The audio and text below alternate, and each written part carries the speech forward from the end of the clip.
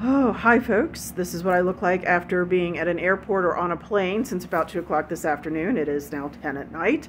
Um, but, yes, uh, it was a lot of finagling to get out of the house.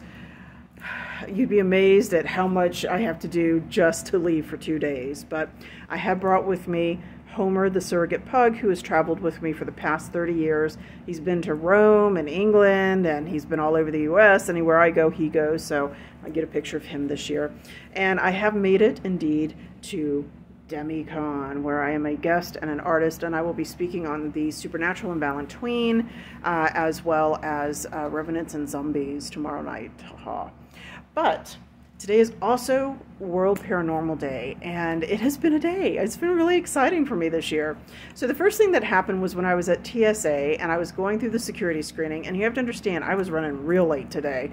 Uh, I mean, I made this plane by 15 minutes, and I never cut things that close, but that's how it worked out. Uh, Tampa Airport was insane.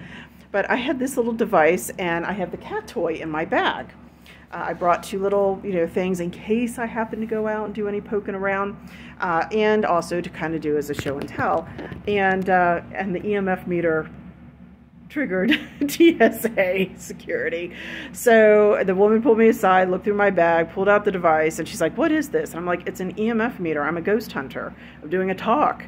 Uh, and you have to understand, I was like, and I'm like two minutes late, you know, from missing my plane here.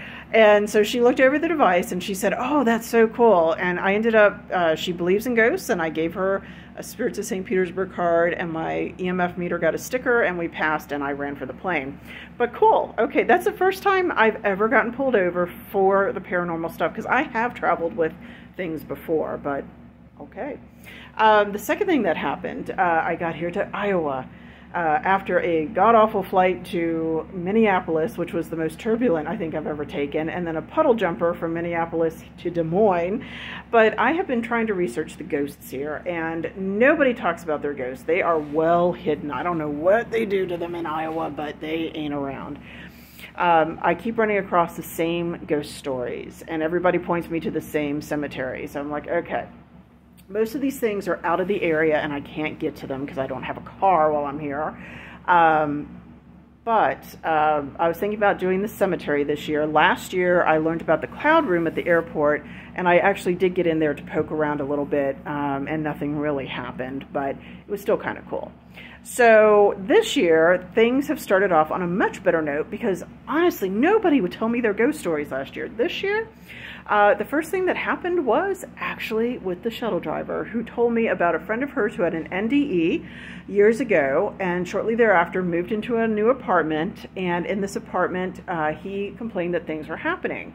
Nobody would really believe him, but she did. And she said it's because she was there twice when something happened. The first time she actually watched like the TV cable box antenna thing go like flying off. Uh, and it was just, she said, in a way that you really could not explain. It's like somebody shoved it. And the second thing was that they were um, sitting in the living room uh, on, on, another visit, and all of a sudden he had a Bluetooth speaker in the bedroom that was not connected or anything, and it started producing static. And they said, or she said, they heard a woman's voice. They couldn't understand what she was saying. It was really gibberish, but uh, they heard this voice. I was like, oh, cool, okay.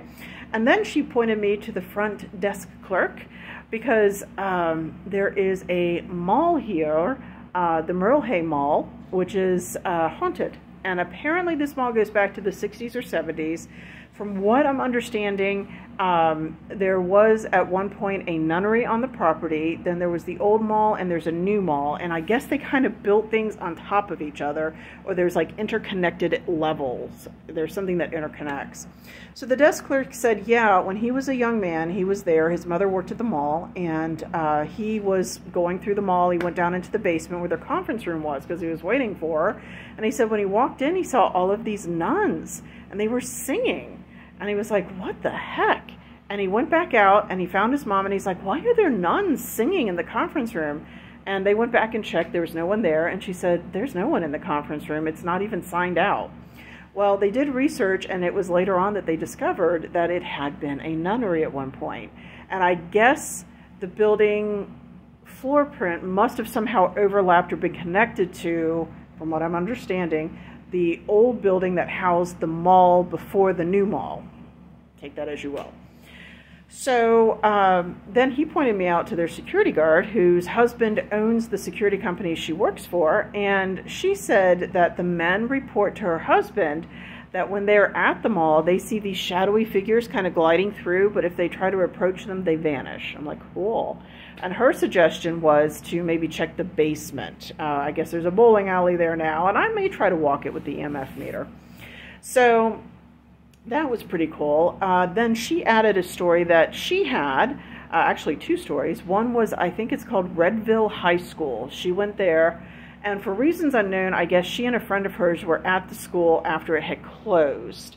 And um, they were on the school grounds and they witnessed like this very dark, shadowy form staring at them. And I said, Well, were there any features, like, you know, any hat features, or like, was this a shadow man?